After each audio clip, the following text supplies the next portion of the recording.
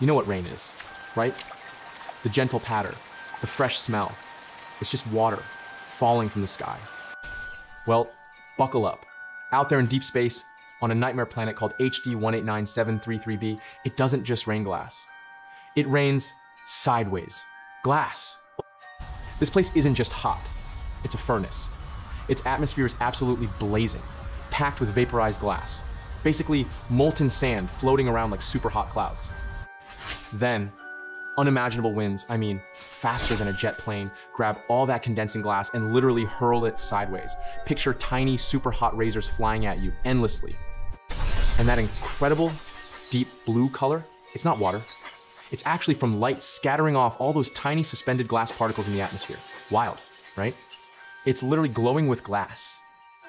Isn't that just unbelievable? And that's just one tiny corner of our universe.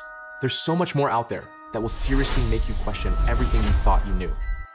So if you're as fascinated by these bizarre cosmic discoveries as I am, hit that subscribe button. Come join Sci-Clix for more jaw-dropping science.